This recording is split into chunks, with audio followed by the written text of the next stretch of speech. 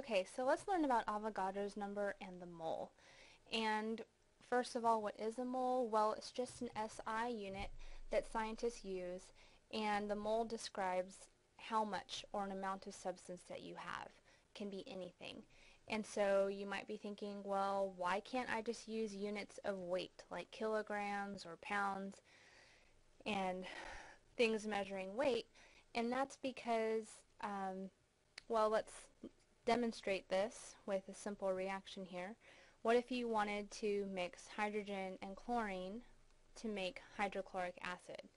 And if we're going by weights, let's do one gram of each.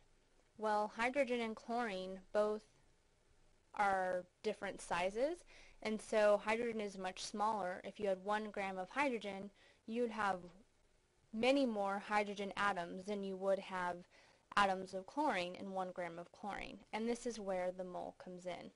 And basically the mole is um, a certain number of entities, and this number has been scientifically determined, and so you would have the same number of entities as there are atoms in 12 grams of carbon. Carbon is the standard. And so that number that we're looking at is Avogadro's number. And that number has been determined to be 6.022 times 10 to the 23. Okay, so what does that mean? Well, if you have a mole of something, whether it's a mole of hydrogen or a mole of pennies or a mole of feathers, you have this many pieces in that mole. And each mole of whatever it is, if you had a mole of hydrogen, it would have a corresponding molar mass. And for the atoms and the elements, these masses are known, and you can find them in their periodic table. And so the atomic weights, or the molar mass, they're the same thing of hydrogen, is 1.008 grams, and chlorine is 35.453 grams. So you can see why using weight simply just won't work in reactions.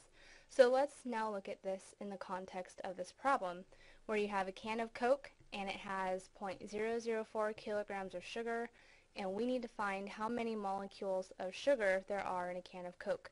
And you're given the molecular weight of sugar, so one mole of sugar weighs 180.16 grams per mole. That's the units for molar mass. So let's look at this down here. We know that we need to go from kilograms to number of molecules.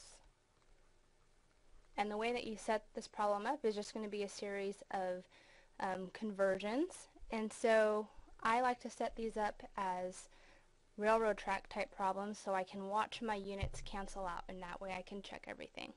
So um, we need to go from kilograms to molecules. Our molecular weight was 180.16 grams per mole. So we know we need to go from kilograms to grams. So let's do that conversion and get rid of kilograms. There's 1,000 grams in a kilogram. Kilograms cancel.